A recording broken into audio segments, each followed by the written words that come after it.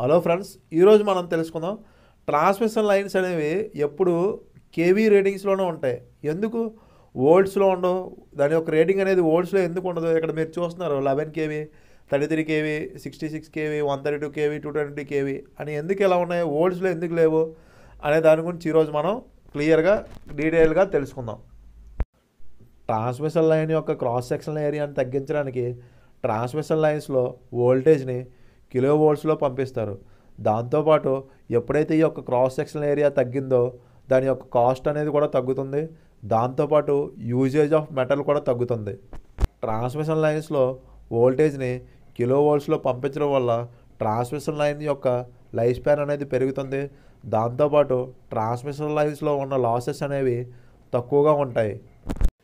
ఇప్పుడు మనం ట్రాన్స్మిషన్ లైన్స్లో వోల్టేజ్ని కిలో వోల్ట్స్లో పంపించడం వల్ల ట్రాన్స్మిషన్ లైన్ యొక్క క్రాస్ సెక్షన్ ఏరియా అనేది ఏ ఎలా తగ్గుతుందో ఇప్పుడు మనం తెలుసుకుందాం. ఉదాహరణకి ఒక సిటీలో పదివేల ఇల్లులు ఉన్నాయి.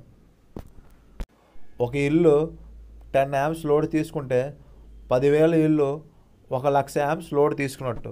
ఓకేనా ఫ్రెండ్స్? టెన్ యామ్స్ లోడ్కి మనం one point five square mm cable నుంచి two point five square MM కేబుల్ని యూజ్ చేస్తాం. అలాగే త్రీ ఫిఫ్టీ యామ్స్ లోడ్కి మనం టూ ఫార్టీ స్క్వేర్ ఎంఎం కేబుల్ని యూజ్ చేస్తాం.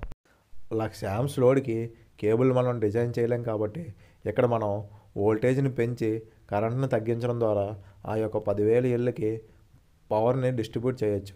అది ఎలాగో ఇప్పుడు నేను మీకు చూపిస్తాను. ఒక ఇల్లు టెన్ యాప్స్ లోడ్ తీసుకుంటే దాని యొక్క పవర్ కన్జంప్షన్ వచ్చేసి టూ పాయింట్ టూ కిలోవాట్. అలాగే పదివేల ఇల్లు లక్ష యాప్స్ కరెంట్ తీసుకుంటే వాటి యొక్క పవర్ కన్జంప్షన్ వచ్చేసి ట్వంటీ టూ మెగావాట్. శామ్స్ లోడ్ని తట్టుకోగల కేబుల్ని మనం డిజైన్ చేయలేం కాబట్టి దానికి బదులుగా వోల్టేజ్ని పెంచి కరెంట్ని తగ్గించి ఆ యొక్క పదివేల ఇళ్ళకి మనం పవర్ని డిస్ట్రిబ్యూట్ చేయొచ్చు. ఇక్కడ మీరు సెకండ్ ఈక్వేషన్ చూస్తే two twenty into one lakh into one is equal to twenty two megawatt. ఇక్కడ మనం వోల్టేజ్ని తగ్గించి కరెంట్ని పెంచడం ద్వారా అవుట్పుట్ వచ్చేసి ట్వంటీ టూ మెగావాట్ వచ్చింది. ఇప్పుడు మనం థర్డ్ ఈక్వేషన్ని చూద్దాం. Two twenty kilo volts into hundred into one is equal to twenty two megawatt. ఇక్కడ మనం వోల్టేజ్ని పెంచి కరెంట్ని తగ్గించడం ద్వారా అవుట్పుట్ వచ్చేసి ట్వంటీ టూ మెగావాట్ వచ్చింది. అలాగే సెకండ్ ఈక్వేషన్లో వోల్టేజ్ని టూ ట్వంటీ వోల్ట్స్గా ఉంచి కరెంట్ని పెంచడం ద్వారా అవుట్పుట్ వచ్చేసి ట్వంటీ టూ మెగావాట్ వచ్చింది.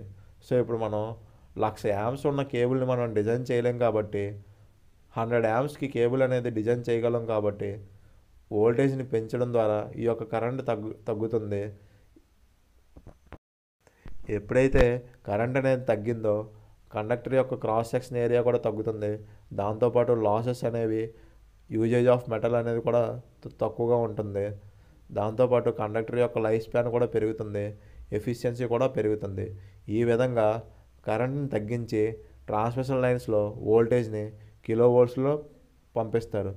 ఈ వీడియో మీకు నచ్చినట్టయితే లైక్ చేయండి షేర్ చేయండి సబ్స్క్రైబ్ చేయండి. Thank you friends.